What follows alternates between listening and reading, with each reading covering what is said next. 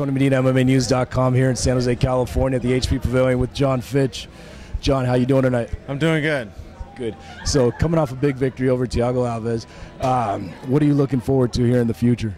Uh, you know, it's kind of wait and see right now. We got Koscheck is fighting uh, GSP here December 11th, and you also have an interesting matchup with Martin Kampmann and uh, Jake Shields fighting uh, October 23rd, I believe. So, uh, uh, you know, the next time a title shot's coming around, it's probably going to be a while. So I'm, I'm, I'm kind of thinking that I might want to fight again before a title shot. So uh, winner of Kampmann Shields, I think, would be a perfect matchup. Now, Jake leaving Strikeforce and coming into the UFC adds a, another real strong competitor there in that weight division to the UFC. What what do you uh, think? You know, how do you think his, his success is going to be in the UFC?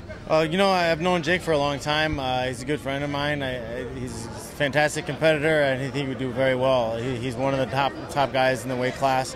Uh, I've been saying for years he deserves to be in the UFC, and uh, now it's his time to, to, get a chance to compete with uh, the best guys in the world. And, I'm all about fighting the best guys in the world, so we, we've known for a long time that this day would probably come that we would have to fight. So um, you know, so be it.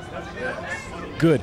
And um, what are you What are you doing right now besides training? You just got married, got a lot going on with that. Um, as far as uh, training and, and business ventures, do you have anything going on you want to tell your fans about? Uh, so far, right now, I'm mostly uh, just getting Koscheck prepared for GSP, sparring with him, getting him uh, in the best possible shape as possible uh, for that fight and then uh, just been kind of improving my game as much as I can, working on specific things uh, just tightening everything up, uh, getting ready for future fights. Now, after seeing Koscheck go through the uh, Ultimate Fighter series, is that something you would entertain?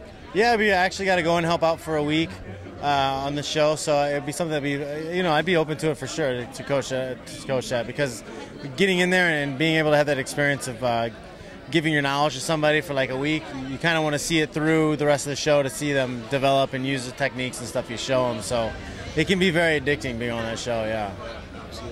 Well, hey, I appreciate your time and thank you very much, and uh, good luck to you in your next fight. No problem. Appreciate right, it. Take care, Jon. Thank you.